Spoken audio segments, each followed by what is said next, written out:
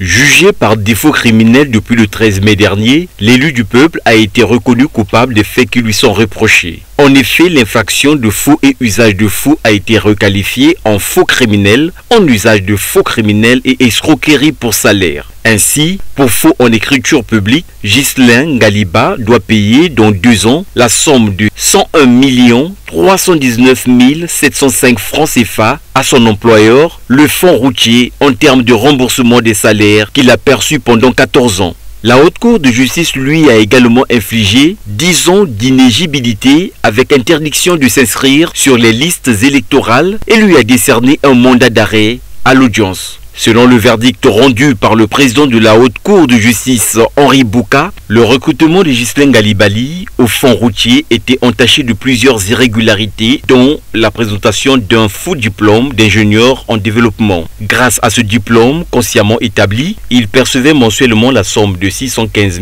077 francs CFA. Il était un employé peu assidu qui ne faisait qu'à sa tête, peut-on lire dans l'arrêt de la Cour. Soulignons que la Haute Cour de justice est composée de 36 cadres congolais, dont les magistrats de la Cour suprême, les sénateurs et les députés unique juridiction dont la mission essentielle est de juger les parlementaires, le Premier ministre, les ministres, les membres de la Cour suprême et ceux de la Cour constitutionnelle ayant commis des infractions pénales. C'est pour la première fois qu'elle rend un arrêt depuis sa création en janvier 1999.